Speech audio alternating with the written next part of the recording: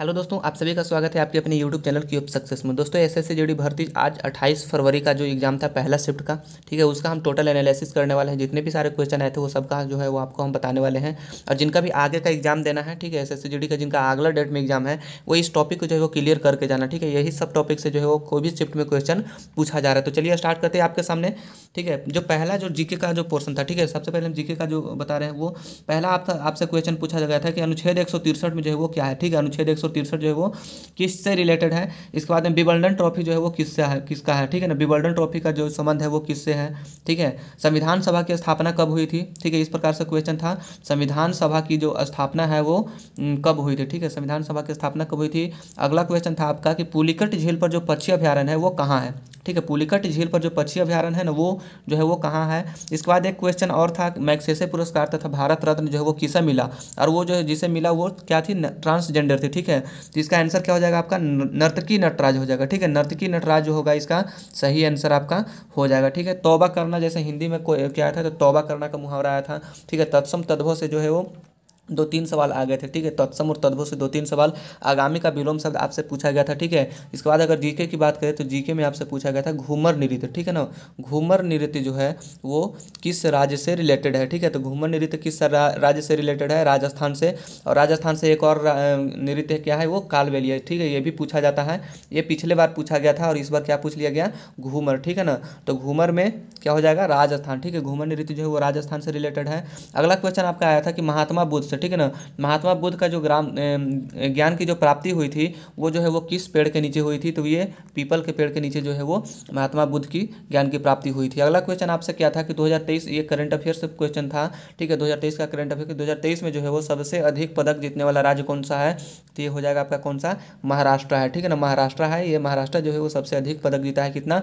Total छप्पन पदक जो है वो महाराष्ट्र जीत चुका है, ठीक है? उन्नीस सौ सैंतालीस के समय में क्वेश्चन था क्या कि उन्नीस सौ सैंतालीस के समय में भारत का साक्षरता दर क्या था? ठीक है, उन्नीस सौ सैंतालीस जब देश आज़ाद हुई थी तो उस समय भारत का साक्षरता दर कितना था? अठारह परसेंट। और अब कितना है, वो आपको कमेंट्स में बताना है, ठीक है? अब भारत का साक्षरता दर कितना है, हमें कमेंट्स में जो है वो छाप देना ठीक है? और क्या था? और जो आपका क्वेश्चन क्या था? अनुच्छेद तो बता दें, अनुच्छेद एक से क्वेश्चन जो है वो था, ठीक है? और एक मेन्सुरेशन से अगर मैथ की बात किया जाए तो मेन्सुरेशन में टू से क्वेश्चन था। टू से कैसा क्वेश्चन था? वो ट्रेंगल से क्वेश्चन था, ठीक है? कौन सा क्वेश्चन था? वो भी बता देते। ट्रेंगल का क्वेश्चन था कि हाइट आपका दिया हुआ था कितना? पैंतीस दशमलव सात आपका हाइट था और दिया गया था कि बेस जो है वो हाइट का कितना है? एक बटे सात गुना है, ठीक है? बेस कितना है? एक बटे सात गुना है तो आपका इसका एरिया बताना था। तो एरिया इसका कितना हो जाएगा? एरिया जो होगा वो यूनिट डिजिट में हम निकाले थे इसका। बस केवल सात यूनिट डिजिट और बाकी ऑप्शन में कोई भी साथ में नहीं था तो इसलिए हम और जो है वो ऑप्शन पे टिक लगाएँ, ठीक है ना? ऑप्शन पे टिक लगाएँ यूनिट डिजिट को लेकर के, ठीक है?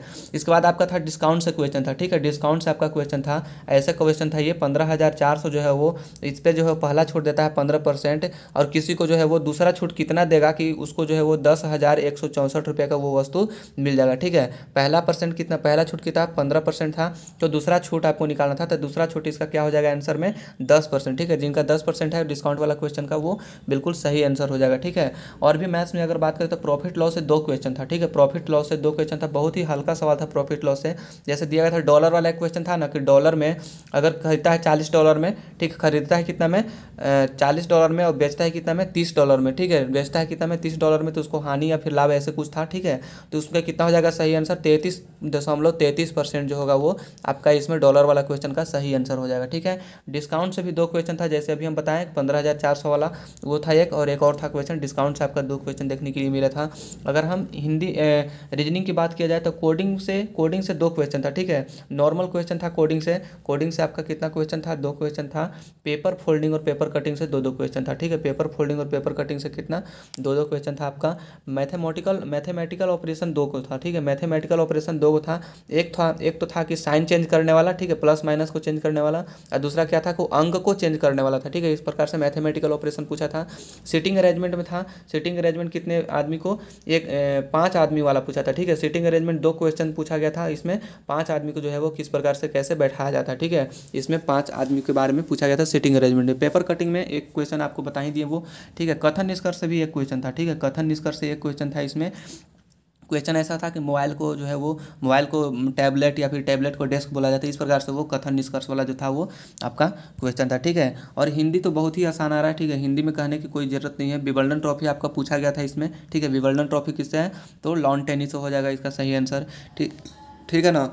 और यही सब आ रहा था, ठीक है? तो ज़्यादा कुछ खास नहीं है, ठीक है? ज़्यादा कोई खास नहीं है क्वेश्चन ठीक है ना? आप आराम से मैथ्स में अगर हम चाहें तो मैथ्स में आप आराम से अगर कितना भी कोई कम पड़ा है तो सात, सत्रह क्वेश्चन आराम से करता है।